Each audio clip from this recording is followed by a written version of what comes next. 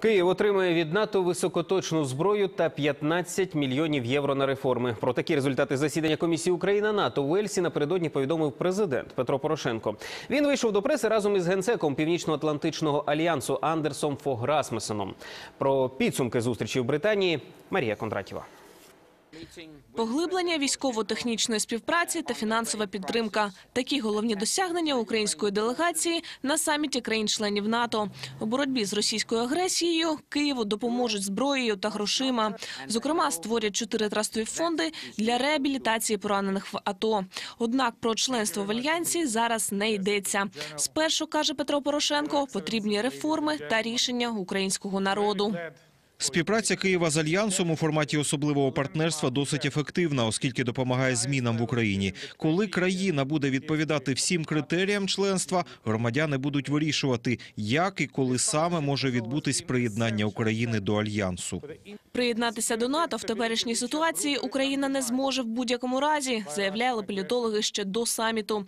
Адже статут організації не дозволяє приймати держави з територіальними проблемами і внутрішніми конфліктами. Тож навіть коли бої на сході припиняться, каменем спотикання залишиться Крим. Його анексію Росією Захід не визнає. На цьому вкотре наголосив генсек альянсу і зауважив, Москва напала на Україну, а її ініціативи мирного плану раніше не були підкріплені діями. І раніше ми чули аналогічні заяви та ініціативи. Насправді вони були для Росії тільки димовою завісою, щоб продовжувати дестабілізувати ситуацію в Україні. Росія повинна зупинити агресію проти України, вивести свої тисячні війська з України і припинити підтримувати сепаратистів в Україні. Ми закликаємо Росію повернути Крим. Анексію ми не визнаємо і не визнаємо у майбутньому. Шукають мирного виходу з конфлікту на Донбасі в Мінську. Участь у переговорах візьмуть представники Києва, Москви та ОБСЄ.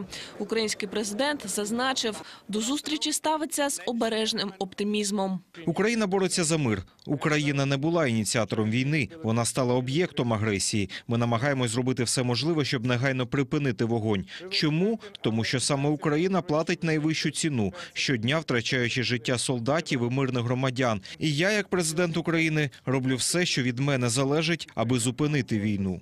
Водночас Петро Порошенко нагадав, питання суверенітету, територіальної цілісності і незалежності України не можуть бути темами для переговорів. Марія Кондратєва, перший національний.